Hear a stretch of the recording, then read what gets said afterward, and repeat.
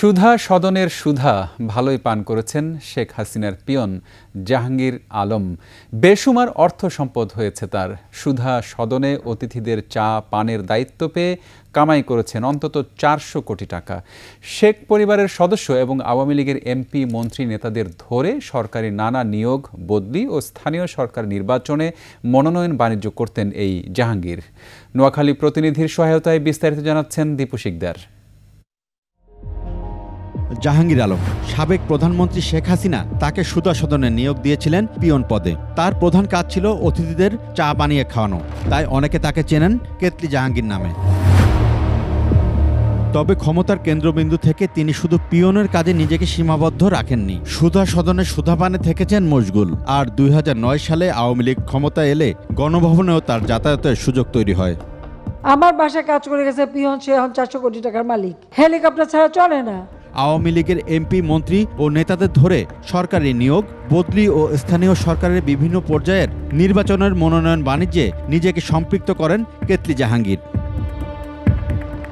CID বলছে তদবির ও প্রতারণা করে জাহাঙ্গীর কামাই করেছেন অন্তত চারশো কোটি টাকা। একাধিক গাড়ি বাড়ি ও বিপুল সম্পদের মালিক তিনি।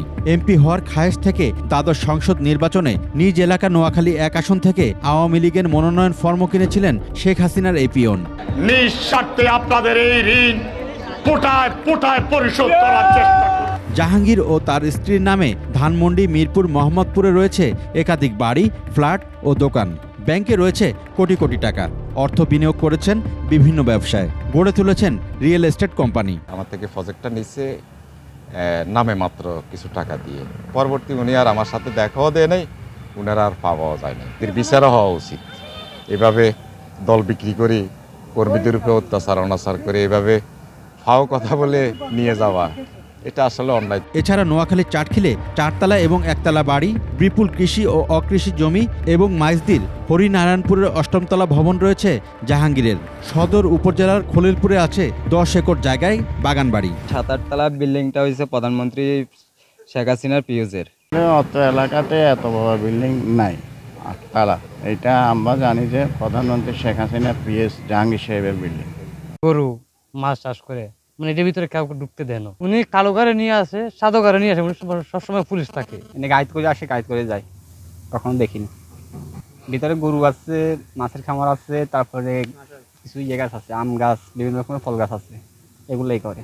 সিআইডি বলছে হুন্ডির মাধ্যমে যুক্তরাষ্ট্রে বিপুল পরিমাণ অর্থ পাচার করেছেন শেখ হাসিনার পিয়ন জাহাঙ্গীর। তার অর্থ পাচার অনুসন্ধান করেছে পুলিশের এই অপরাধ তদন্ত বিভাগ। দীপু শিকদার একুশে টেলিভিশন। ঢাকা।